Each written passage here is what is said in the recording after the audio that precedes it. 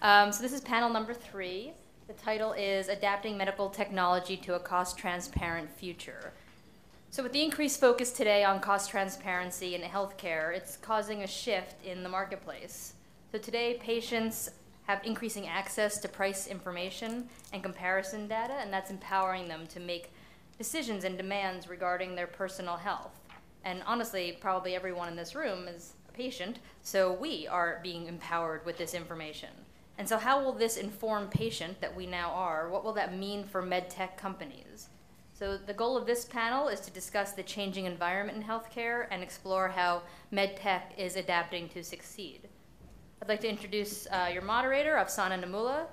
She's a partner at Marlin and Associates, a financial strategic and strategic advisory firm and, and investment bank. Afsana is an accomplished global technology and healthcare IT executive and investment banker, and she's not new to it either. She's been doing this for over 25 years. She currently focuses, her age would not, you know, you would not be able to tell at all, but she focuses on M&A, capital raises, and corporate strategy for emerging next generation healthcare IT companies. And she is also the editor of Marlin's monthly newsletter, HIT Greatest Hits. So it's my pleasure to invite Afsaneh to the stage.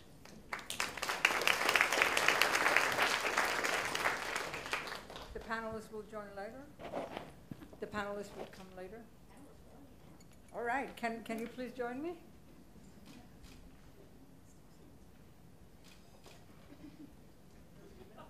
You know, I have to say, you all look great. You really do. It's, it's, I get so energized when I'm amongst a group of accomplished women.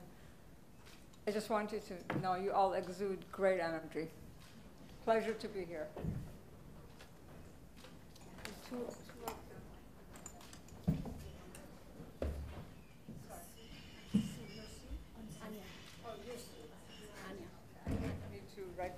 We've only ever talked on the phone.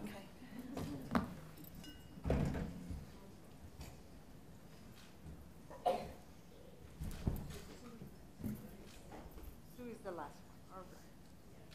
Sorry, guys. Uh, all right. Got it. All right. I have a few senior moments, so I want to make sure that I got I got this all uh, figured out. All right again, thanks for uh, joining us here. Um, you know, I like to start telling you one of the jokes um, um, that I heard. Um, we lost her, uh, Joan Rivers. I think big tragedy, but I loved her one-liners and I loved her jokes. And one joke she has has some relevance to healthcare. She said, "You know, people think, they always tell me, money does, is not the key for happiness. Well, I disagree. I feel like I could have so much money, I'm going to have that key made. but you know what? We have thrown so much money at healthcare, and we have not made that key. But having been around technology now for over 25 years, and I have to say I'm an early adopter geek, I used the internet when, there were no browsers. I, I was on server number 77, and I remember typing in, is anybody out there? and then one or two times, a few DoD people call me and say, who are you, and why are you on this network? Well, we have come a long way. Um, we have definitely come a long way. So in reflecting on price transparency, I started to think, I'm a little bit philosophical guy, so just bear with me, I'm a yogi. So, um, so I was saying to myself, you know, student of economics, a lover of technology, why is, well, I can see why food prices are rising because we are not producing enough. Population is growing. I kind of can see why real estate prices rise because demographic shifts, some cities are more, you know, in favor than others. But why is healthcare cost is rising? It's not just because we have more people, but healthcare cost per individual is still under rise with all this amazing technology we have. So what the hell is going on here? And this has a relevance to price transparency, just bear with me. And you know, I, I, after all, nearly two and a half decades, I have a, I feel it in my bones that finally I think we are at an inflection point. Finally, we are at the confluence of technology, point of confluence of technologies that I think the cost curve is going to bend. And there are a couple of things that are going to bend that cost curve. I think mobility. You know, I, I started banking when we used to send telexes to each other. Oh my God, let's send a telex to London office. It was a big deal. I remember days, Afsaneh is talking to uh, London. It's a long distance call. Don't interrupt her. It's really expensive. And that's where how I started my profession. And look at where we are with technology. Look at how omnipresent technologies. Look at our, the level of our productivity just simple email and mobility. Why mobility is going to bend the uh, cost curve? Wireless internet. You know, my daughter is 19. I'm glad to say that next week I'm bringing her over to go to Stanford as a freshman, so I'm very pleased. And uh, she'll be amongst all your wonderful people. Um, you know, she grew up with wireless internet. Do you know what that means? Wireless internet. She grew up with it. So people like her, people her age, and I would say up to about, you know, 18 and 30, 35 year old, these guys will bend the car, cost curve because they know how to use mobility. They grew up with it. It's like, you know, it's, a, it's basically a second hand for them. I think that's definitely going to uh, bend the cost curve. The other thing that is going to bend, bend the cost curve is what I call data democratization. What does that mean? So when you have CMS opening their data and saying, here is all the charges that, you know, all the procedures and prices that Medicare pays for, dump it on the internet. You guys can go and analyze it. Data, that's a data democratization. My God, can you imagine US government opening up their pricing data for Medicare? When the hospital executive says, you know what, I want to compete with other hospitals. I am going to put my prices for all these procedures, and, uh, and people should be able to shop, and I want to be one of those facilities that provide this. Well, he has a problem, which I think big data is going to solve them. A lot of hospitals don't know what the cost of a cardiology surgery, you know, open heart surgery is. And there are people, analytics companies out there like Health Catalyst and others that now are doing all these analytics with hospitals and saying, hey, Mr. CEO, did you know, by the way, that cardiology, yes, it is your highest revenue producer, but did you know that it has a lousy profit margin on a fully loaded basis? You better reprice your open heart surgery. So, uh, so that CEO is so anxious to participate in this marketplace of putting out his prices so, so we got the government, we got the providers, and my God, can you believe the payers are doing that as well? I mean, payers are, you know, I've dealt with them for a long time. They're the most secret, they're worse than CIA, I swear to God. And, you know, they have these secret meetings with the CEOs of, of, you know providers saying, you know, let's negotiate how much I'm going to you know reimburse you for uh, you know open heart surgery or knee replacement. Now, you know, all of a sudden that kimono is wide open because they have no choice. Data democratization. Why do we have data democratization? Because we have the internet. I just had a little interview. I said, you know, 15 years ago, a very wise man told me, internet over everything and everything over internet. That's why we have data democratization. The you know, train has left the station. There is no way to stop this wave. When you can't stop a wave, call me because I'd like to know how you're going to do that. So I think, um, and then, you know, the payer was, was the last bastion of opening up their data. And, you know, so lots of, lots of price, price transparency data is out there, but people obviously, like Lisa and others are, are going to ha have a meaning, you know, what, what, the heck, you know, okay, fine. It's like, oh, you know, knee replacement costs that. But what about value-based price transparency? What about, you know, if you're a diabetes and have these other contiguous risks, what are the, not the, what's the cheapest price, but what's the best price? What's the best facility and what's that price? So we have a long, long way, way to go with price transparency. But, you know, data democratization, prices, costs, just one or two vectors. We're going to have some of the most exciting years ahead of us because the door is open, the kimonos are open, so there is software, there are a confluence of technologies that are going to help analyze and really give us a lot of data, most of which is going to be on my, our mobile devices. So I'm very, very grateful that I was asked to moderate this panel because my first reaction was, what the hell does price transparency have to do with medtech? Well, you know what? A lot. And we're going to hopefully help you find out why we say that. And, you know, we have a great panel. Every single of these ladies I've spoken to on the phone, they're, you know, very, very accomplished ladies. They have opinions and I'm, uh, you know, would like to start by introducing each panelist. After that, we're going to go to Q&A, and then please, you know, if time permits, uh, we would love to hear questions from you as well.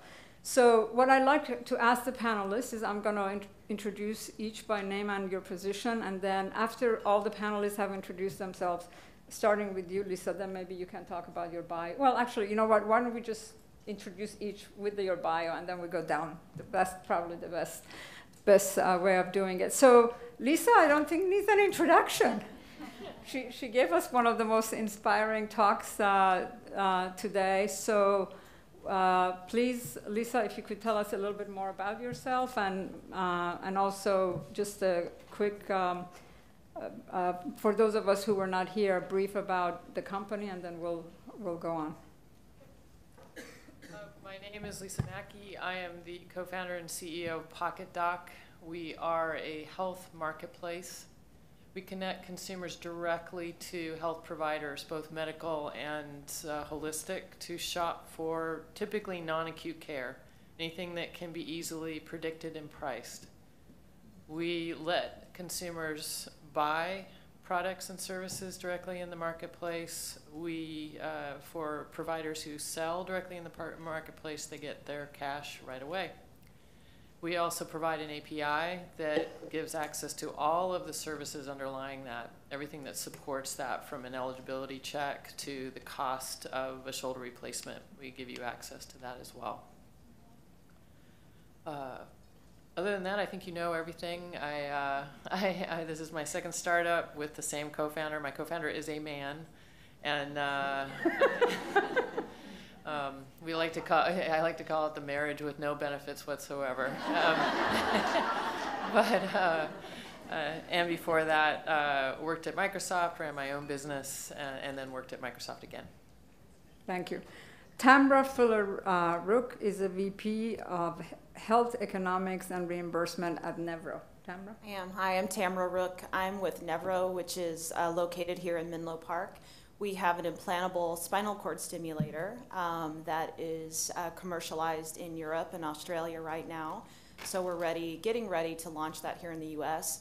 My background, um, I started out in the uh, payer world uh, in 1994 and from there, I went to the provider world. And about 10 years ago, I went to medical device. And I spent a number of years at Medtronic in neurostimulation and a couple years at Cyberonics uh, before I made my way to Nevro. Thank you. And uh, Anya Scheis is VP Device and Diagnostics at Cardinal Health. Yes, hi. So I'm Anya Scheis, uh, work at Cardinal Health actually just moved over from medical diagnostics and devices to our uh, hospital supply and services businesses, which is the bulk of Cardinal's business. It's, if you know us for anything, it would be what you know us for, so the delivery of, of products to, um, to hospitals and ambulatory care centers. So just a couple of quick facts about Cardinal. We do over 100,000 unique deliveries a day to different uh, healthcare entities in the U.S. We touch 98% of all hospitals in the US. We may not be a prime distributor for them, but we touch them uh, at least once a week, 98% of hospitals in the US. Uh, we have a large ambulatory and physician office uh, practice as well. Um, we're the largest direct employer of pharmacists in the US, which most people don't know, but a lot of independent pharmacies actually um, use us for, for staffing, and so we provide their pharmacists. It's on the pharma side of the business. I'm on medical, but it's sort of an interesting fact. Um, and then also, we sell over $5 billion in medical worth of products uh, a year. So most people think of us as distributors, which is a big, important business for us. Um, but selling products is a very big business for us as well. We sell both consumable products, so bandages, crutches, things like that, uh, as well as implantable products, as well as, as um, products that are used during surgery, so instrumentation, monitors, things like that. I've been in uh, health. I'm a complete healthcare nerd. Always been in healthcare. Um, helped to co-found a company back in '96, which was in the orthopedic space, and have sort of played in different parts of healthcare ever since. Thank you. And our last speaker is um, Sue Heilman, who is a senior director of business economics at Medtronic. Thank you. Um, hi, everyone. So uh, I am a nurse by training. So I started off in the hospital space, obviously, on the cardiac uh, specialty area. And as we were joking at lunch, uh, you know, if you have some uh, level of clinical capability, they promptly move you into management where you have no idea what you're doing because you've had no formal training. So, um, you know, uh, being in a, a, strategic planning effort and knowing the answers, but perhaps not articulating them as well. I went to Carnegie Mellon and got my business degree. Uh, within the hospital space, it was quite an interesting time. Uh, without dating myself, I was there whenever coronary interventions were just coming into their own. So, yes, I too am older than dirt. Um, but, you know, the, the, it also afforded me a lot of opportunities. I was able to step out and do some consultation on behalf of the hospital and then ultimately made the leap to uh, a startup company with uh, kind of a boutique cardiovascular consulting firm. Uh, after having been there for about six years, a former friend from Medtronic called and said they were, you know, starting up a healthcare economics service. And uh, I went, had an interview, and now it's 10 years later.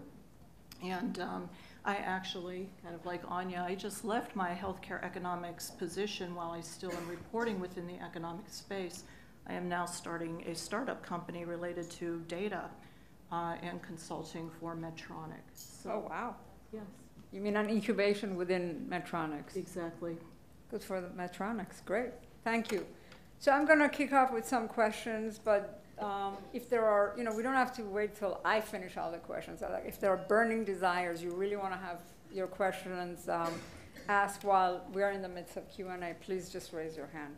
Um, so, uh, Lisa, why don't we start with you? Um, you know, I'm fascinated by your company. You know, I know a bunch of price transparency companies, Castlight and HealthSparq, which is backed by Cambia. So here you're backed by Cambia. So it says something about how special and differentiated you are. Uh, but let's, you know, I would love to hear some experience that consumers have shared with you about how they use you. What's the success story? how you reach out to these uh, consumers. Uh, so if you could just give us some idea. Uh, yes, we. It's it's interesting given this group of people to talk about how we got started. We actually uh, beta tested Pocket Doc in Los Angeles, and we started with a group of women. We were talking about this at lunch, because uh, women are uh, referred to in the industry as home health managers. You know, most women are online at least once a week searching for health information 50% of the time for someone besides themselves. So we targeted that population. Uh, uh, here's the story. We, we went down with a blue prototype to Los Angeles Uh, to a group of 40 women from the ages of 25 to 55, and they immediately told us, and no offense to anyone in the room, it can't be blue. It absolutely must not be blue. It makes you look like an insurance company. That makes you look like a hospital. You are our source of information. We don't want you to be them. You know, it's it's, and I'm not saying anything about how they felt about those companies. They just didn't want us to be them. So when you look at us, we're orange and we're purple and we're uh, we have a more approachable interface. We really have tried to design the consumer side of the interface to appeal to that woman in particular, not just women, but that female customer in particular. Because even if it's the man's health, the child's health, the parent's health, it's typically that woman who's calling. Uh, what we found is it's usually an increasingly, it's your average uh, parent, mom, family member at home. Increasingly, especially with this last year, the bulk of us have been moved to or choosing high deductible plans on the exchanges. That means it's anywhere from $1,000 to $5,000. I'm on the high range with $7,000. Uh, as one woman said to me, a consumer using our product, I finally understand that more of us will be covered, but will be covered for less. And then I have to start shopping for my healthcare procedures in the same way that I shop for everything else. I have to be smart. I have to ask questions. I have to comparison shop. I can't just do what my doctor tells me to do any longer. So that's this is what we're hearing from most of the consumers out there. Most of them are coming to us just to get a sense of is this the right price? Is there a price? Because, uh, and I'll just say it, this probably won't surprise you. I think about us not as a price transparency app. I think of us as a as a marketplace. HealthSparq mm-hmm. and Castlight are absolutely price transparency tools. You know, they're great, great applications, great software. They give you a lot of information. But I, as a software creator, I'm always in the business of, of what am I going to do with that information? At the end of the day, what do I do with it? So can I actually buy that service through your website? Yes, in fact, and uh, we've built it self-service on the provider side, so you can sign up, you can claim your page. This is all for free you can list a service, you can list a price, you can sell it and collect funds today. And put it all in your own WePay account. You know, Wow. little merchant account attached to that.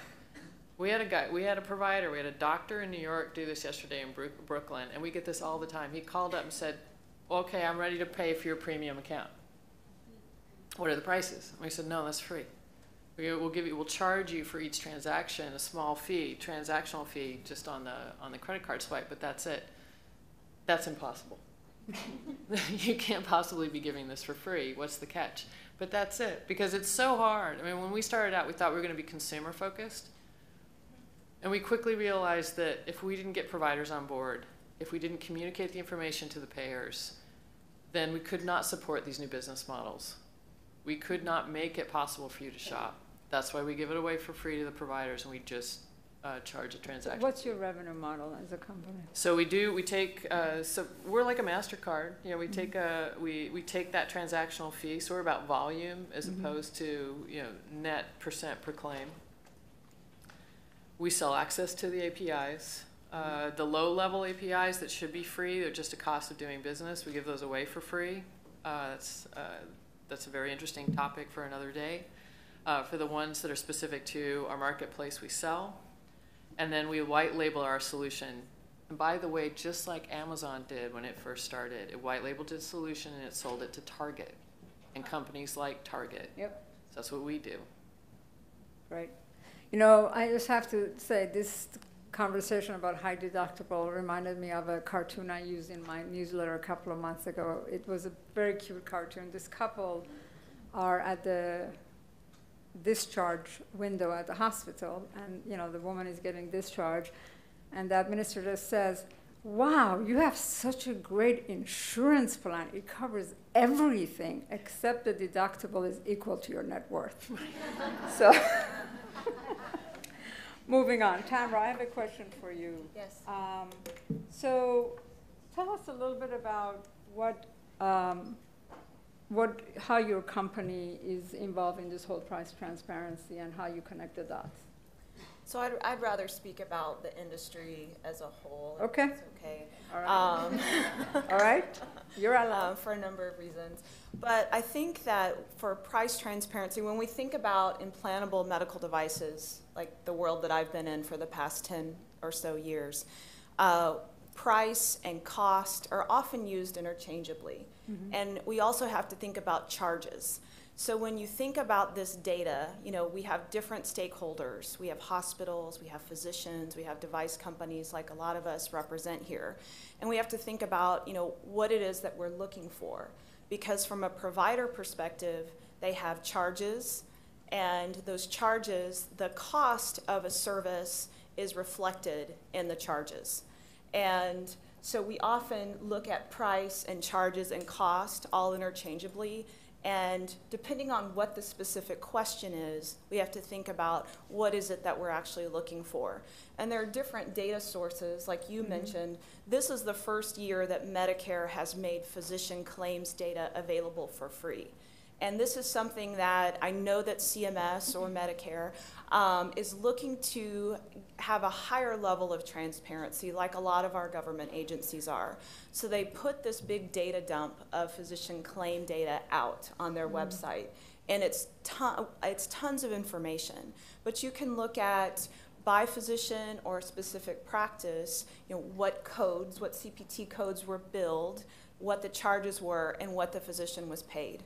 So if you're looking for some type of referral pattern, if you have a new product and you know what CPT codes might be associated with that product, you could possibly pinpoint some customers or look at, you know, what the charges are and what mm-hmm. the reimbursement is.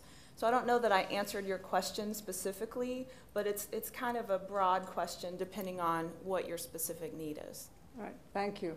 So Anya, talk to us about Cardinal Health and price transparency and your efforts.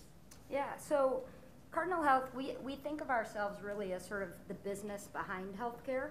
So we're looking to participate in different areas of healthcare that, that basically help our customers. And we broadly define our customers really as hospital, you know, CEOs or uh, managers of ambulatory practices, et cetera. So to us, um, price transparency or, or um, we kind of frame it in what are our customers really asking for. And that's what led us into products in the first place, away from kind of core distribution. So our customers were saying, we need to get our consumable products cheaper. Well, how do you do that if somebody can own, you know, the entire value chain from manufacturing through delivery? You can drive down the costs and get it cheaper.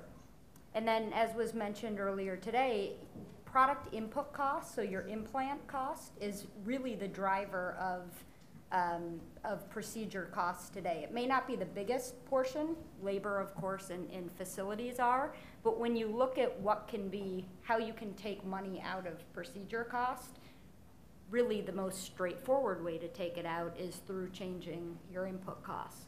So to us, price transparency is all around partnering with our hospitals and helping them understand what they're really getting. Um, some products are way more valuable than they cost, and that's great. Some products actually deliver much less value than their cost. And we look at that group of products and say, wow, there's a real opportunity for Cardinal to get involved and play in that, that space between what you're paying for a product and what a product is really worth. Uh, and, and we think price transparency is obviously a way to help kind of align everybody to that fact, and, and it's where we're going. Thank you. So, Sue, I, I was intrigued to know that you're a nurse. So I love having people who actually know something about medicine in your, your kind of uh, position, because most of the time we have administrators. Um, but Medtronics is obviously a big company, uh, somewhat, I would call them amongst the innovative companies. Um, how do you see price transparency really enmeshed with your business? How are you guys using that concept in your business? So the, um, the venture that I'm currently involved in actually is giving us access to a wealth of data from uh, several hundred hospitals, and the hospitals that are joining into that effort are sharing with us their claims data, their quality data, et cetera. And I know from being a former hospital administrator and uh, working with a product that we actually have been giving away a program uh, free of charge for the last several years. Uh, we've just decided to commercialize it, and, and that's what I'm responsible for. Is it is still astounding to me that um, hospitals themselves remain somewhat insular. Um, in the case of this product, obviously the key customer is the um, hospital, but it's also the physician. We have less to do with the end user, so to speak, but the number one reason for hospitals to participate in our program previously was because they didn't have access to benchmark information. They benchmark internally, but they really have no idea. Unless they've been part of a, a provider network of some type, they really don't have that information available to them. Uh, you know, whenever we surveyed them, the number one reason for uh, joining was the access to the benchmarks. The second was uh, provider alignment.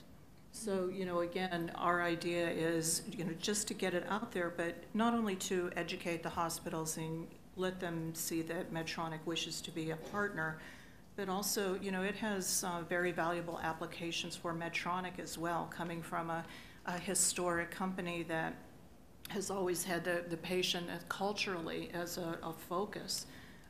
There's still a lot of opportunity within Medtronic as well to learn more about the healthcare delivery side, and we've been able to use some of those historic um, examples to educate our sales force and so forth. So we're trying to bring them into you know the current environment and be able to speak knowledgeably about you know, what are the, the hospitals facing, what are the physicians facing.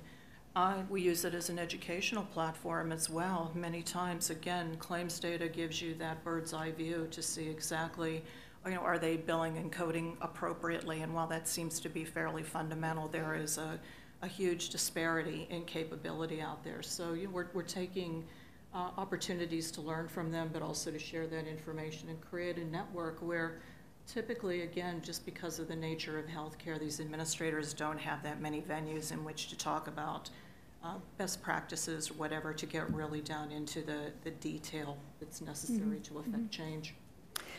To set the um, stage for my next question, which is not on these lists that we compare to, so I'm doing something dangerous here. uh, but it's extemporizing is always good, right? So, uh, you know, I told you I'm an early adopter of technology. So I, my first uh, mobile phone was a Motorola brick, literally a brick, and it only worked parts of, you know, uh, my home or parts of the office, and maybe, you know, sitting at the corner of my office building outside soaking the sun and speaking, and everybody thought, you know, obviously I was a weirdo with that. And, and I truly, I think, like when I bought it, I can't remember what year it was. I think I saw maybe five more people over several months uh, that were carrying that brick. So, and then the, you know, Motorola Razr came out, which was this much, much smaller device. And, you know, I, I again, not you know, I was just like here I was standing with my brick outside my our building, so why not go across the street and get my lunch while I'm talking on the phone? And I cannot tell you how many times I w- was looked at like, who is this weird? At one point, I was asked to get off the bus because I was talking on the phone. um, so, you know, who would have thought we would be here, right? Uh, if somebody would have asked me, what do you think the next Razr can do for you besides the fact that it's a smaller and you can walk around and talk. Who would have thought that we're going to have all these apps and everything? So I like the panelists, and not everybody needs to answer my questions. I know it's a little unfair that I'm extemporizing. I like the panelists to take their crystal ball out and tell us, and this has a lot of relevance to price transparency. It's all about the data democratization. It's prices being out there, consumer being so educated that we can, you know, disrobe the payers now and the hospitals, right? Because it, we, we are, you know, we are, we have a lot of power. Information is power. We, price transparency is power. So maybe starting with you, Lisa, um, since you're in price transparency, maybe your crystal ball is bigger than the others. um, what do you think? You can answer the question one of two ways. Either what's the next phase of digital health that you guys see, or what's the next phase of price transparency as an empowerment of us consumer can do to the healthcare? Okay, my crystal ball. Uh, well, I will say, and I, I agree with you uh, on how you characterize price, cost, uh, et cetera. It's, I think price transparency is the CD-ROM of our time. Because think about it. If you're buying, do you think about price transparency when you go to Amazon? No. She just shook her head. Well, no, It's you think about how much it costs, and you want to compare the cost. That's, uh, why do we think? I mean, it's just a foregone conclusion. You're going to see the price. It's not the whether or not it's transparent is not a argument. This is what it's the same for anything. We it's almost a, in my opinion, it's a red herring. We're talking about it while completely avoiding the actual conversation of what it would take to sell something in a retail setting to a consumer from a doctor. So that's why you see us going way down into the guts of the business of health because the only way you're going to support that and make price transparency go away and you being able to see the price. And price is different from cost, very, very different from cost. And it's absolutely true that most health systems today, with a few exceptions in the news, have zero idea how much things cost them. Mm-hmm. And that, so that's something that has to happen. That I am not going to solve that problem, but that that's something that absolutely has to happen. But the price, being able to see the price and deciding if you as a consumer want to pay it, that absolutely in the next few years will happen. One of the reasons why it will happen is right now the the, pipes where that information is exchanged uh, have been a black box. They, they haven't been modernized. They've been a back, black box. No one's had access to that for a lot of very specific reasons because it hides price, it hides contracted rates, it suppresses cost information. Uh, there were a lot of reasons for that. I don't want to get into why they were, but going forward, that can't be supported. Uh, people paying for health care will no longer allow that to be supported. Those pipes are already getting disintermediated into other areas by people like us. So once that information is flowing freely, which it will, then price becomes really interesting. Price becomes based on time and need and perceived value and competition. And those are things that, I mean, yes, were we talking on 5, 10, 15 years? Absolutely. But it's coming. That is the crystal ball. That it's not, that's not going to go away. Now, there are huge powerful companies who would prefer that I fall into a crack as I go outside that door and disappear Absolutely. forever. Um, Yep. and I'd like to say that exactly the same thing was uh, said by the head of Delta to the founder of Priceline when he went in for the first time. And then Delta became their best customer. So I think uh, this is happening and is evolving. It's a really interesting conversation to have about uh, price versus cost and we as consumers will start to demand that. And I absolutely predict that these programmable interfaces, as announced by, by Apple, is one of the most exciting things in terms of shifting the center of gravity elsewhere to drive uh, to drive that conversation.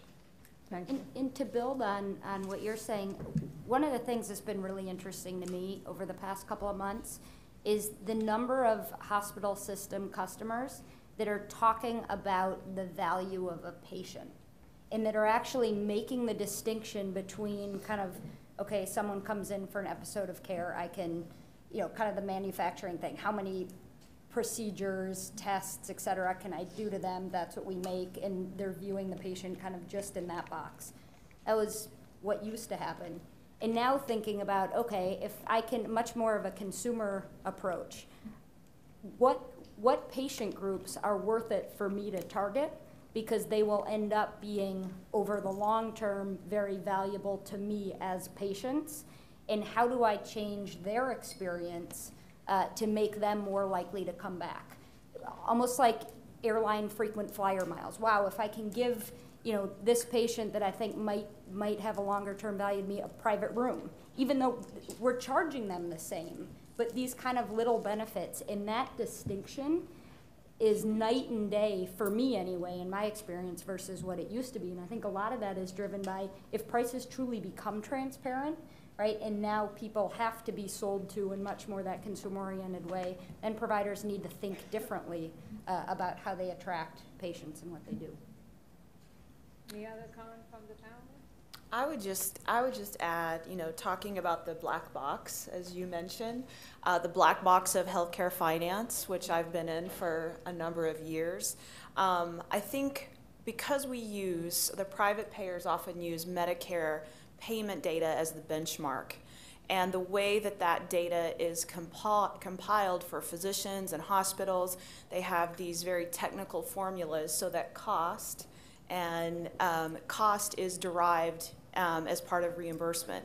That may be something that needs to be unwound because you need a PhD to figure out how these formulas work, or you need a really smart analyst uh, that can figure it out um, on the physician side as well as on the hospital side. But I think something uh, something like that will change eventually because we do want more transparency. We do want to understand why Medicare pays more for an MRI, you know, in one location versus another location. So I think that we will see that change, but until um, Medicare makes a fundamental change in the way that payment rates are designed, you know, we'll have to continue to poke as you're doing. Uh, um, so. I'm just a professional poke. No, I think it's, I think it's, it's, it's fascinating. No, I you like make it. Great point. But I I, like it. I think one other quick point, and perhaps I'm being a little bit more linear in my thinking, I agree with everything that these ladies have said, but I think it also gets back to MedTech's delivery model, if you will, because right now, obviously, a lot of our cost is tied up in, you know, sales representation, et cetera, and that procedural support. So, you know, I, I, I can tell you that, you know, Medtronic is obviously looking at uh, differentiated delivery models, but we're already seeing the demise of uh, triple vendor systems, dual vendors, going down to single vendors. So, you know, how do you start to eliminate some of those uh, human resource costs, quite frankly, and how do you leverage the technology? Thank you very much. I'd like to turn it to the audience. I see one question there. Is there a microphone? I'll stand up and yell. Um, so, Please introduce yourself and uh, tell the audience what you do because Yeah, I know what um, you do and that's very yeah, interesting. thank you. I'm Joe Carroll Hyatt. I'm with Kaiser Permanente, and I'm a general surgeon in the Southern California Permanente Medical Group. Um, the one segment in healthcare that has had price transparency forever is cosmetic surgery. And Because it's not reimbursed. No, well, exactly. So, it- but, but what I, my point is that for some reason, consumers in healthcare have equated quality with more money. Yeah. If it costs more, it's better. You can get a Fantastic. facelift in Beverly Hills Fantastic. for about four times what you can get the same operation in San Bernardino. Yep. So is the consumer ready for the appropriate behavioral response to price transparency? There's an, Right. a flipped perception that more Right. money is better healthcare. No, that's very good. And you know what I was thinking the other day, and uh, is, uh, and I think you might have. I haven't used your site, so I don't know. You know what I was thinking? Would it be nice to find a site that, you know, maybe I'll search for, you know, price of a knee replacement, right? But then I can compare it next to the stars of the facility or the doctor. So Jesus, he's the cheapest, but look, he has only one star. Forget it. I'm not gonna go. So it's it's some kind of a value-based comparison, quality-based price comparison. So I think that could be really helpful to consumers. Don't you agree? spend a ton, you're gonna rate it really high because you want to justify what Yeah. So what, But- I have to but- speak to so, this because this is really close Okay. to my heart. Um, and I think about it speak. completely differently, which of course, what a big surprise. But um, I don't think it's a problem. I, I, in fact, I, I like to say, uh, what if consumers spent more money and that was a good thing? Because this goes back to your cost versus spend conversation.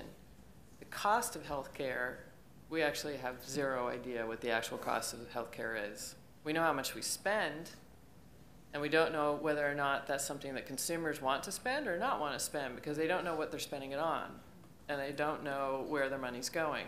If I did, this is where the price transparency, bless you, goes, is uh, um, if I did, what do I care? It, this is this is where I say to the, the health community at large, you, in a consumer-driven market, you got to put the burden down. There is no appropriate amount. There's only what the consumer wants to spend. Yep. There's no appropriate amount. Very and if good. you convince them to spend it and they want to and they're happy about it because they know what they spent it on, then when I would redefine, I wouldn't call it cost of healthcare anymore. I would call it healthcare spend, drive it up. You know, you want this is an opportunity. No other industry in the world would look at that and go, "Oh, that's a problem." know, they'd be trying to drive it up, but make you as a consumer happier about it, and and and bene- and absolutely get a benefit from the dollars.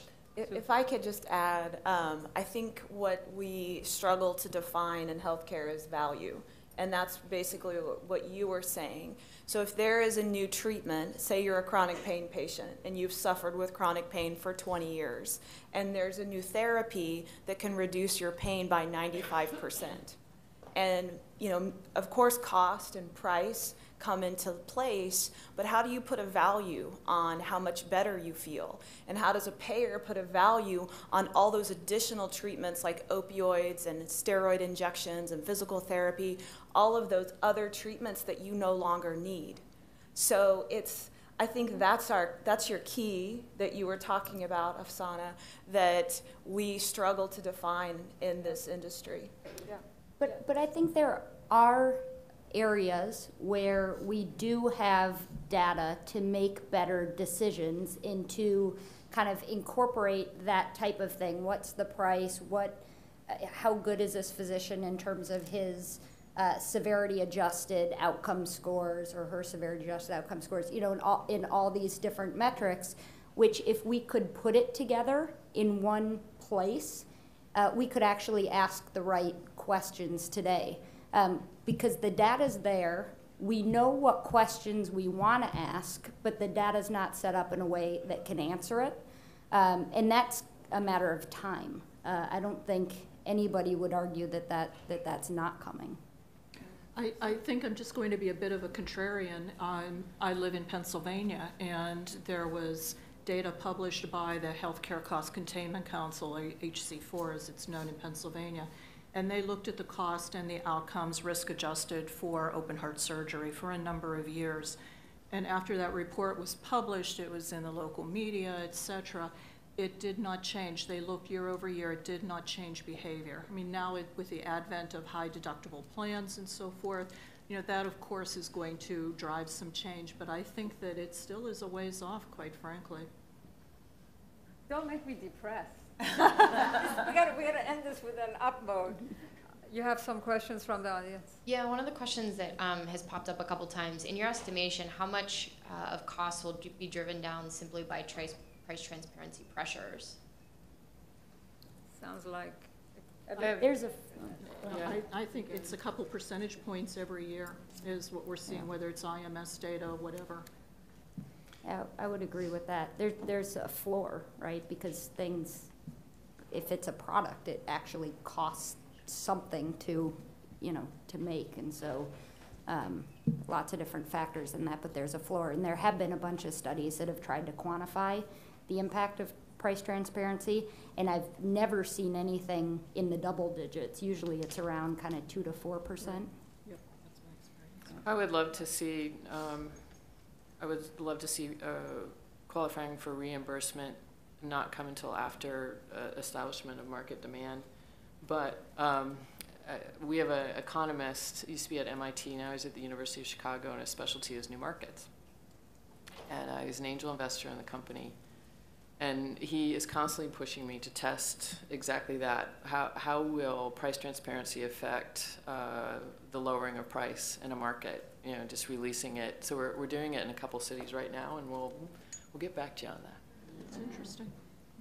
You know, I have to say, uh, again, just being a student of uh, technology, you know, if you look at cost of telecommunication, if you look at uh, cost of flying, um, look at uh, gas prices uh, um, after fracking, even in inflation adjusted uh, oil prices have stayed fairly flat because of better EMP technology. So, you know, horizontally speaking, technology has leveled the playing fields in a lot of places, a lot of places.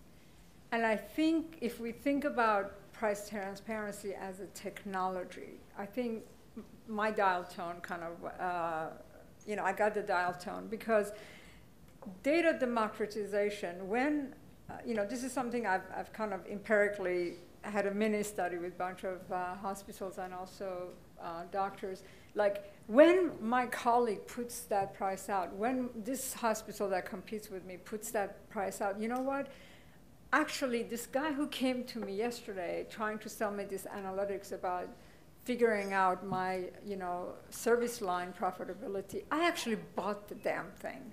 You know, my CIO has been bugging me about buying that package, but I bought it because it's enough is enough. I gotta, I guess, participate in this. So it's almost like, you know, if I don't get into it, I'm gonna lose the game. And I really feel, I don't know whether it's 2% or 5%, but I think we ain't seen nothing yet. I think we whatever we are in our 30s and 40s and 50s are going to have some, you know, we're going to save some money. But I think our children, my daughter, I mean, she has such a sense of entitlement about wanting to know every price of everything and everything. You know, she goes on different sites to compare prices, or you know, sends out a message to her Facebook friends to compare prices. So, you know, it's it's an entitlement that a lot of young people have about they want to know the prices. And I have a feeling it may start at two, three percent, but I, I think we're we're gonna I'm very, very hopeful. I don't know, five years, maybe, seven years, maybe, but I think we're going to see some material shift um, in, in, healthcare costs being bent for price transparency. That's my opinion. Any other question from that? I. I just had one. Do you see uh, the changes in the hospital itself being uh, uniquely different now that in, you know, the, the combination of hospitals becoming now insurers, that is a trend in the business. topic. And I think that's a, that something that I'm very interested in. But I also have one little funny story to tell you. While you were talking about all this, I got a email from Aetna who had just denied my daughter who has severe ADHD her Focalin for a couple days. And I said, I, while this panel was going on, I said, I emailed her back and I said, whoever denied that, I'll send my daughter to go live with them for, the, for the next two weeks, and he'll, I'm sure he'll, he'll uh, approve everything. So some things are, um, are all, you know, I think some things are never going to change, and it's going to take a long, long time. But the whole construct of a hospital becoming the payer, I think, is really going to be uh, something that we're going to be looking forward to. Yeah, thank you for that. I have a very strong opinion about that, but Yeah. panel wants to. So we see, this is a huge issue right now for Cardinal, or, or big in terms of how we think about it. In fact, there, are- our CEO talks about five key drivers that our business is sort of ob- obsessed by and, and is informing a lot of our strategic plan. And their access, obviously with the Affordable Care Act, um, the change in consumer-driven healthcare, so really the, the, um, I liken it to, we all used to have defined benefit plans, and we went to defined contribution plans, and, you know, the whole, that whole part of the financial industry exploded, right, and changed pretty radically, so similar to that. Aging in place, digitization, and then provider consolidation. So it's something that we're spending a ton of time with. And as we think about it, an incredibly meaningful shift is happening where we used to think of the places where care was delivered as the revenue centers. And it's becoming a cost center, and the overlying entity is now the revenue center. So that whole mentality about how we, as a management team of a hospital system, um, are going to manage is changing from viewing. I mean, think about in your own company. If you used to be a revenue center, and now your company is just thinking of your department as a cost center, you're going to be treated completely differently. What you have access to is completely different. I mean, that it's it's really kind of a fundamental shift, and that's one of the things that we see happening as both uh, big hospital organizations combine, even if they're still only provider or if it's a payer-provider combination. Any other panelists? Uh, We uh, are currently working with a large hospital system, 30 hospital system, 73,000 employees of their own. They have their own plan. And uh, one of the interesting shifts that we see them making is using us as an e-commerce solution, a front-end e-commerce solution. Uh, because they, with the ACO, with all of the newly insured with high deductible plans, they're seeing their reimbursement rates drop, and that's going to collections. It's not, they're not, not, not capturing that after the encounter. So they're, um, they're looking at new ways, and they can, um, we have to work with other plans on their behalf, uh, which they broker, but they're able to test these fully enclosed e-commerce solutions themselves because they own the provider, they own the plan, they have their own employ- a significant employee base. So that that is really interesting to me. And they're they're seeing as an opportunity to build out that solution, build out a new set of of uh, e-commerce pipes around that, and then roll that out to other systems. Assem- uh, So thank you very much. I am so glad you brought that up because it's been an area I've studied and I, you know, we have done some res- research at the firm. So let me give you a couple of pieces of statistics. Aetna is the largest employer of doctors. They're an insurance company, okay? Have bought a ton of, and they're not just the only one, Humana also. They, these guys own a ton of doctors. So that's just an interesting piece of data point for you. And, um, you know, many hospitals already have their employees uh, under their plan, uh, self-insurance. And um, what is, what is insurance risk? Risk assessment is insurance. So I know a company in the valley who is now still um, kind of in a stealth mode that is working on an insurance in a box. So basically, it's a health insurance. It's a risk assessment methodology that they will plug into all kinds of their databases, and they're working with a couple of other data analytics companies already that are present in hospitals to help migrate the vision of me as a hospital becoming an insurance company. So it's very, very exciting. And why is that? So there is a reason when the CEO of Aetna says in every single earnings call or analyst uh, uh, presentation, he says, in X amount of years, Aetna will have only 20 to 30 percent of their earnings come from insurance. That's why. Because insurance companies, if you just kind of take it to the extreme, insurance companies are going to do a couple of things. Obviously, you know, Aetna has providers. Aetna has a, a very, you know, pretty decent platform for HIT. Um, they do a lot of things for patients for free but they're going to be administrators of the insurance plans that these hospitals own. That's one area they're going to get into. And the other area they're going to get into, which is again something that I'm studying, and I can tell you it's just kind of is at the very intellectual level is being seriously discussed with some uh, uh, health plans, is I will be provider of capital to these hospitals so they can start their own insurance company. So they will be like lenders. I lend you capital. Can you imagine what kind of a world we will be if that happens? And it will happen. It will happen. It's being presently studied by health plans that are meeting with these providers that are saying, How can I help you become your own insurance company? Let me also say another thing. So there is a hospital in New York that actually said, We're going to uh, have our, you know, we, we're going to do a cost containment because they, they have some limited self-insurance and see how we could help bring the cost of our ED patients. So, so everybody was much more aware about not okay, you know, let's give them give her less oxygen to save money. it wasn't that, but it's like workflow. What are we doing uh, with the workflow in our ED to save money. And this is one example of a patient. So this hospital in New York used to get this elderly woman once or twice a week in an emergency room. Oh, my chest hurts. Oh, my back hurts. And obviously, by law, they have to take her in. And she became a frequent flyer. And so now that the, the, ED has a higher awareness about how can we help this workflow, somebody sat her down and said, do you have a doctor? She said, yeah. Where is the doctor? 30 blocks away. Where do you live? I live around the corner. So what this hospital did, they actually giving, giving her a monthly staple of money, the hospital, mm-hmm. to go to the doctor before you come. That's how they save a lot of money. So what, the level of awareness is, is, is amazing. Uh, but you know, I see the day for sure as this risk assessment methodologies become more and more become easier to use for these hospitals to become captive insurance companies. I see a lot of those stories actually happening. So, any other questions from the audience? Yes.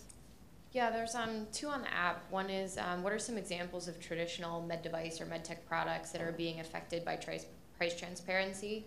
And then, sort of second to that, um, on the med tech company side of things, are there ways to influence patients or communicate to patients the value and importance of perhaps having a higher quality yet higher cost procedure that would utilize one of their, their technologies. Please. Um, Go ahead. Absolutely, okay, so, um, first thing, uh, in terms of the impact of transparency on the companies, I, do you wanna repeat that question again, just to make sure I'm answering it Yeah, the first correctly? one, just some examples of traditional med tech or med device products that have been affected by price transparency. I can tell you, uh, certainly for defibrillators, uh, coming from Medtronic, I, I believe it was in 2010 or 2012, the um, GAO did a study looking at the pricing of medical devices, whether it was orthopedic implants or cardiac, and um, they subpoenaed, uh, I think it was about 60 hospitals originally, I believe about 32 of them actually responded, but they actually made a comment upon the variance in pricing for similar types of devices. So, you know, subsequent to that, the Department of Justice has certainly been looking at the appropriateness of defibrillators, for example. They've set up um, a series of appropriateness criteria and so forth. It has definitely had an impact on the business. Any other comments?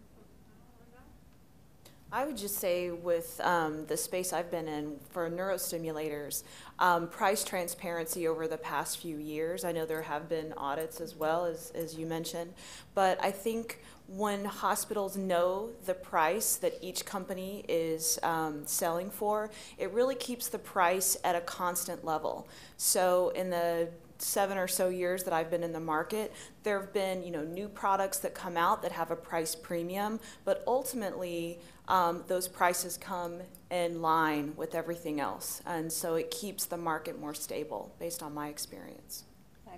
I'll just say, I'll just add from a consumer's perspective, what I'm noticing, and we see this primarily in the ambulatory surgical uh, market and those groups that are on PokitDok, is they were list bundle prices. Uh, we have a number of groups that list bundle prices, including uh, surgeon, anesthesiologist, and facility fee.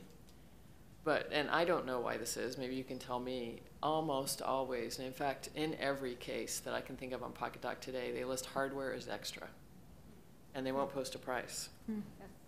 So Prob- whether or not that's true, it makes you guys look like the bad guys. And that, that's, and you don't want that. So if it's not true, uh, you know, how, how, okay, so it's true. Um, No, I, I'll, I'll address that. So it, I think it's, it, the answer is it depends, Mhm. because it really depends on what the patient needs. So what, what I've done in my past is, you know, once a patient is an appropriate candidate, let's say for a spinal cord stimulator, they can work with their insurance company and or their facility, you know, hospital, ASC, wherever they're having that procedure to say, this is what I'm having, these are the codes that are involved, what is the charge, and what is my insurance benefit. So I think when you have a better, you know, per patient, that, that value is going to differ. Mm-hmm. And that's probably why there's not a, a price there. But if you put an average and somebody goes beyond that average, then consumers get upset. But you just, and, and that's, I think, a struggle that, that we'll just have to continue to educate our patients on. But I think the opportunity as well in terms of um, providing information about the improvement of outcomes and so forth. Uh, Pharma has been very successful in terms of doing, you know, quantification of, of value or the efficacy of, of their uh, medications. I think that is still is somewhat um, new territory for medical device companies. We certainly are in an arms race, so to speak, to have um, appropriate outcomes research um, being, the data being collected on a consistent basis and being analyzed and, you know, and really doing something beyond large meta-analyses of, of databases. So I think that, you know, we're headed in the right direction. I mean, You had a, s- What you can see now, just no discussion is probably complete without quickly mentioning GPOs. Right? So what, what you can see now is on the spectrum of true commodity consumable device to completely physician preference um, device. It's, it's a big spectrum. And you've seen GPOs marching down that spectrum. And the GPO model involves a lot of price transparency, at least among their customers or member base, not necessarily the end user patients, but you know, as that march happens, I think you'll see more and more and more of what we consider medtech products involved in that. thank you. You had a second question. Oh, I think. Yeah, and I think Sue touched on some of that, which was um, how do medtech companies influence or convey to patients the importance of perhaps having a higher quality at Okay. higher cost So- procedures. So I think you kind of Yeah, opened that up. that- don't know I think the other, the other thing too that we were talking or touching upon in some of the previous uh, panel discussions was, again, uh, taking on risk-based contracting as manufacturers. And, you know, it certainly is something that we're exploring. Very important. I would just also, I mean, it, it is phenomenal, and I am so impressed by the amount of data that this group has about its own products, the amount of work and research it's done to ensure that its products have uh, valid data and can present that. We had a really interesting conversation at lunch today with the value of marketing um, and, and the challenges of marketing if you haven't announced some of the concepts in the marketing when you presented presented the product for FDA approval, you can't use those words in your marketing, and this is this, I'm exhausted even listening to this, but uh, but uh, yeah, it's yeah tough. I mean, it's like uh, go go forth, fight, don't don't stop. But um, it, it's it, we talked about the concept of it it that kind of rational information does not make someone want to buy your product. It tells them why they should. Absolutely. Doesn't make them want to. I just want to throw in one final comment on this, very specific to MedTech is even if everything were. Can you please wait for the, I have a loud voice though. Um, Even if everything were commoditized, and we had total transparency, and I started out my life as a commodities trader, so there is the ultimate commodities market. Um, there is in MedTech the, the personal touch of who's ever doing the procedure, and you can't it's very hard to value that. And they, they started doing that in Europe, where they have centers of excellence, so only certain physicians, only certain surgeons can perform certain procedures because they do it better. And um, that may Wow. come here soon, but uh, yeah, so there are a lot of procedures, for example, ERCP, for one, where uh, it's not offered in every hospital in Europe. It's only a few in, in every country. So it's all, they start realizing the value of the, the actual artist who's p- doing the procedure too. So that's another factor that's very, very unique to MedTech. Hmm, thanks. Questions? Questions? No questions. There's one over here. Oh, sorry. Sorry, go ahead. And after you're finished, I think the lady next to you also has a question. So this might be a little bit of a flyer question. Um, maybe it's in the context of learning. And Lisa, I guess I would most be interested in your thoughts. Is this a U.S. phenomena, the concept of digital health, and rooted in just the very high and currently unsustainable costs of healthcare in the U.S.? Certainly, many developed markets would argue for that. But are the digital health aspects happening in other places around the world? And where are there lessons or bright spots that are working? Or is it truly just new frontier, the entire topic, I guess I would say? Uh, so I'll answer that two ways. It's absolutely worldwide and differing on the market and the needs of the market. Uh, I was just in Finland, and when I was there, f- for whatever reason, Finland's got a huge number of health startups Yep. uh, and digital health startups. and I happen to know a couple of the founders there, and I was meeting with them, and it, it is a vibrant community. They'll even be renting out, a, they're sponsoring a whole room at Health 2.0 if you're going to that. So you can go see everything that they're doing in Finland. And they consider, of course, Finland's a small country, so they consider uh, the U.S. one of their primary markets um, for, and these are wellness applications. These are all the same sorts of things you would think about. But I think um, some of the most interesting work is being done in developing countries because they're less constrained by regulation. Uh, they have more immediate needs, uh, really critical, like, oh my God, how am I going to prevent Ebola from, you know, spreading kinds of needs. So they're putting some fascinating, and, and all of them have jumped to mobile quickly because they couldn't afford to put the landlines in, pra- in place. So they're starting in terms of developing a lot of their technologies almost farther along the curve than we are because they didn't have so many legacy systems in place. So this is that's the area that's really interesting to me is what can we learn from them, uh, and and also, they're doing, um, I, I wish I could remember the exact example, but even, I was listening to a man describe what he put in place um, in India for, uh, and he was using the trekking system. Because it was, it was what he could track. He knew that it always had a consistent delivery cycle, and he was using it for some kind of healthcare you know, analog where he was delivering healthcare along this trucking system, and it was, and uh, it was just brilliant in its simplicity and brilliant in its creativity. So I think that's uh, when you look at what Path up in Seattle is doing. Uh, even the, you know, the Gates Foundation uh, has its challenges, but they're they're funding some interesting things that are worth looking at in the developing nations. So I'd like to make a couple of comments because there was a speaker at the SOCAP last week in San Francisco, which is all about you know how we help third world countries the whole digital health. And so, so it's good news, bad news. I mean, the good news is that they don't have to deal with the FDA. They just have to show what I call basic safety. And so you have a ton of entrepreneurs who are going to that market to especially provide care in remote areas is a big problem. Uh, the bad news is the funding is a huge issue. Uh, you know, is who, who's funding them to get off the ground. And so, so in Europe, in particular, there is a ton of digital health accelerators. They're probably two to three years behind the U.S. We only have 50 here. I stopped counting. Uh, but over there, they're just starting. And you know, ironically, a lot of them are funded by IBM and some of the big players in the space uh, who are going after that. There are certain countries that are way ahead of where we are.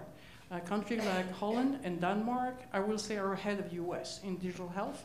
And if you go to Health 2.0 and pay the $2,000 instead of Health Tech Capital, no, I'm just kidding. Uh, they have a judging competition uh, on the Dutch companies. There's like 15 companies presenting. And, and so, so it's a very, very, very active space. And, and don't assume the US uh, is really where it's happening there. Some of these other markets are moving faster. They may be later in starting on the innovation side, but they're faster in the implementation side because the governments are getting involved. Yeah, actually, to amplify what Ann just said, uh, Stacy, there's, um, I was just working on a, a, a report for on accelerators, on digital health accelerators for the California Health Foundation that'll be coming out in about a month, so look for it. And uh, there's about 100 digital health accelerators or medical healthcare related accelerators. About 20 of them are not in the US, maybe more. And that's just the ones I could find. And um, but there's organizations like HealthXL, which is in Dublin. It's doing worldwide matching of large corporations and digital health companies to, to find ways of them working together. There's a very robust community around this stuff in Germany um, and in the countries, particularly the um, uh, you know, Sweden, Denmark, or that whole world. Um, so it's, a, it's pretty remarkable what's going on. And I actually think the part of the reason for that is because they actually have, in many of those countries, aligned financial incentives in their healthcare systems, which we do not yet, although we're trying to get there. Um, and I think that enables a lot of the technology to be tested more readily and more logically, right? So in the UK, you're starting to see a lot of it in France and others. So I think there's actually pretty sophisticated stuff going on outside the U.S., not just in third world countries, but in, you know, other places in the middle. So. Well, you know, Europe was where wireless uh, was born, so you would expect them, at least, especially the Nordic countries like uh, uh, Finland. You know, they have always been ahead in um, in wireless. And in my, you know, uh, career, I've noticed that you know, U.S. and Israel are really, really good in search and are really, really good in algorithm for data analysis. But wireless, you know, is definitely something that Europe, you know, has done a great job. Questions? I, I think I saw, yes. Yeah, I have a, a question um, based on a story, and uh, Tamara will relate to this well.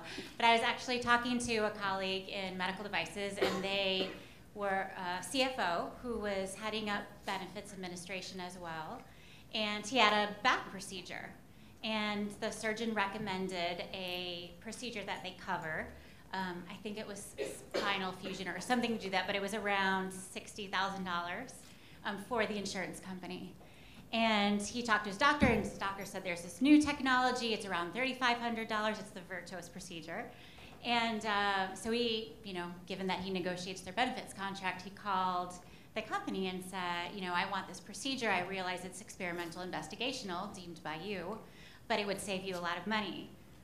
Well, he still, given all his connections, couldn't convince the insurer to pay it.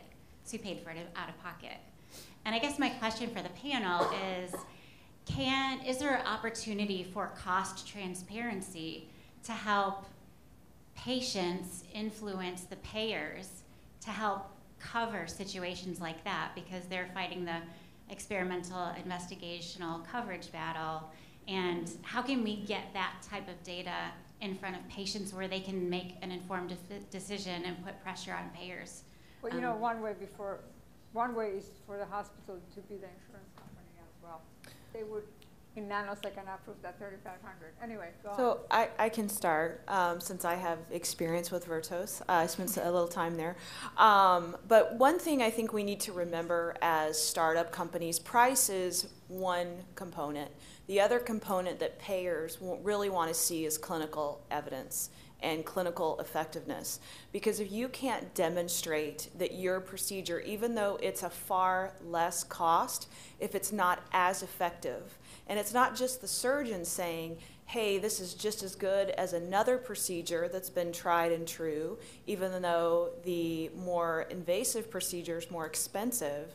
If the payer isn't convinced in your published peer reviewed science mm-hmm. that your new therapy, your new technology is just as good and just as effective, unfortunately, they're going to come back to you and say, That's a great story. You know, prove it to me in a randomized control trial. Mm-hmm. Prove it to me in some type of trial that is very rigorous and gives me that level of data. And I think that mm-hmm. is the quandary that we're in when you have a procedure that's new, that's co- less costly, more cost efficient, um, but we have to prove in the data, uh, with the data, that the, the procedure is just as good or better. Well, and all the federally mandated uh, registries that are coming about, I mean, we're investing millions uh, Yeah. for that longitudinal data that is becoming part and parcel of any type of launch of a new product. That's right.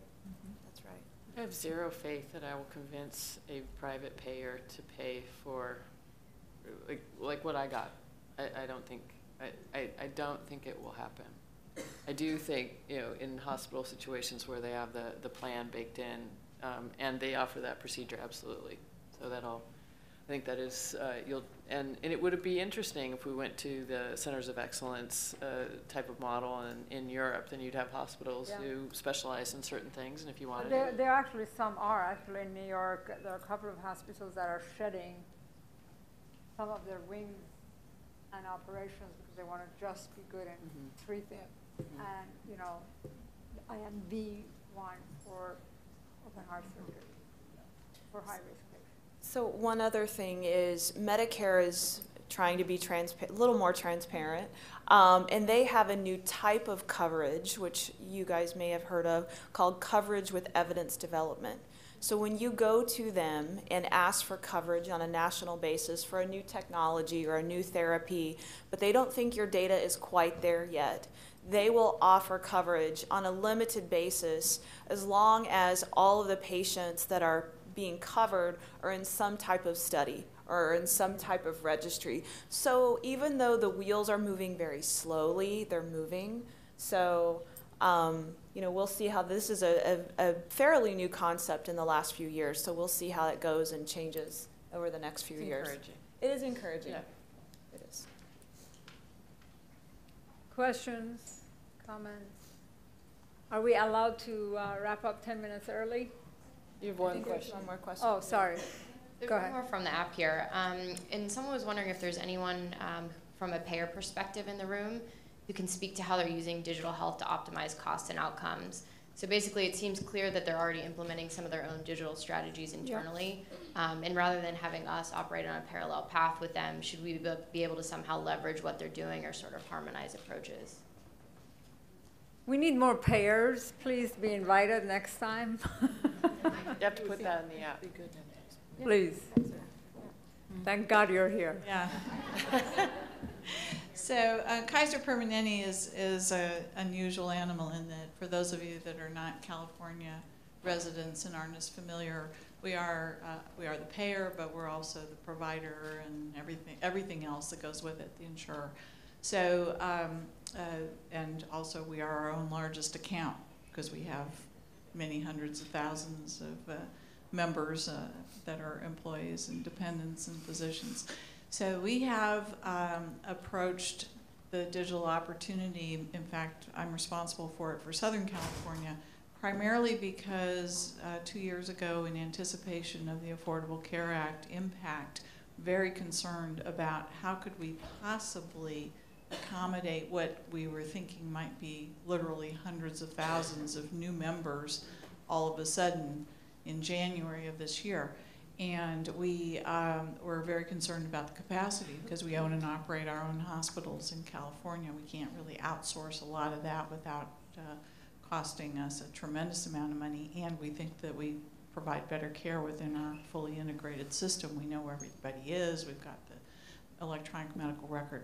So we thought that uh, digital health and virtual care offered an opportunity to very quickly create capacity and efficiency in our system. I will tell you that from the physician and provider perspective, and we, by the way, have had secure messaging email for years. That that was that was old news for us. Um, but some of the things that we thought we could potentially automate uh, and um, and allow the members to really participate in their own care are somewhat challenging technically for us, and we would appreciate some help.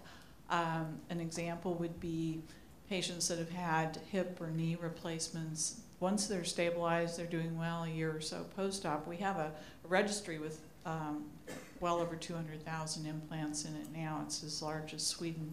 Um, and uh, we thought that we could help maintain the registry integrity because we just need a couple questions every three years from the patients. How are they, what's their exercise tolerance and what's their pain level? If they're having any problems, of course, they need to come in. And we need new images of their implant. So we thought we could automate that with the electronic medical record, that they could get a notice uh, that it was uh, time for them to get their images obtained wherever they wanted to do that, any of our locations fine, and also answer these questions, and we'd be done with it. They wouldn't need to come in and see the orthopedic surgeon. Even in our system where our physicians are all salaried, it's an interesting conversation. Um, the physicians are very attached to these patients. They've seen them for years and they're friends and they bring them a bottle of wine and they find out how the grandkids are doing and all that. And they don't like giving up that relationship. That was difficult, but we're, we're working on that. Um, but it was really targeted for us, not so much the trying to reduce our cost as, as really trying to figure out how we were going to have the capacity in our system to take care of a lot more people a lot more efficiently. Virtual care on the video side is for the providers not more efficient. It, if you're lucky and if people can work the technology, it's kind of a one for one, but um, it's way more efficient for the patients. They don't have to drive in or do whatever. One of my favorites, and this may turn out to be huge value, um, is uh, lactation care. So the brand new mother, home, screaming kid, two in the morning. We're not doing it at two in the morning. I wish we could. I'd love to be able to do that because we're in so many time zones. And I think we should be able to provide 24 7 coverage for this. But the lactation consultant can visualize the struggle that the mother and baby are having with an iPhone or whatever at the home setting and an iPad in the office and provide consultation to the mother so she doesn't ever even have to leave her bedroom. She can get the baby uh, settled and, and continue hopefully successful breastfeeding. I think there are all kinds of opportunities on that front that the costs are going to be very hard to determine, but one of the things that I personally love about KP is we actually don't care that much about the cost part of it if the outcomes benefit is there. And the earlier example about the um, experimental treatment, um, if we have a physician who wants to you know, do that. We're, we're not getting an approval from an insurance company. It's our physicians making that decision. That's the right thing to do. Thank you. I'd like to say, um, uh, tell you a little bit about Apple, and then we'll close. So one of the things that you guys may or may not know, and I just wanted to put it out there, so it's uh, you know about their healthcare development, uh, environment, et cetera, et cetera. Great, iWatch, great, but something you may not know is Apple is talking to Epic which until Siemens and uh, Cerner merged, was the largest EHR company. And they're talking to Cleveland Clinic. And a lot of the information on our wearable, they want to create an environment that that information goes straight to the EHR. So it's a consumer, constant consumer interface with their EHR. I can bet you it's going to happen. Apple is spending a lot of time on it. Epic is, uh, you know, deployed at, at Cleveland Clinic. That's why Cleveland Clinic is involved here. This has nothing to do with price transparency, but it has to do with what technology is doing to our healthcare system. And what, it, you know, we ain't seen nothing yet, guys. I can tell you it's a very, very exciting time. I, I, don't think we have ever been here, as I said in the early part of my discussion, is the confluence of technologies. I think the availability of capital. Thank God this is America. We may have a lot of FDA regulations, but we don't have any regulations for capital. So, you know, at least we got that going. So you got, you got, so, you know, societal imperatives. You got availability of capital for all these innovators to do startups. And you really have the technology, the confluence of technology. It's, I think it's a beautiful world out there, and I really appreciate the contribution of the panel, and thank you for giving me the chance to be here.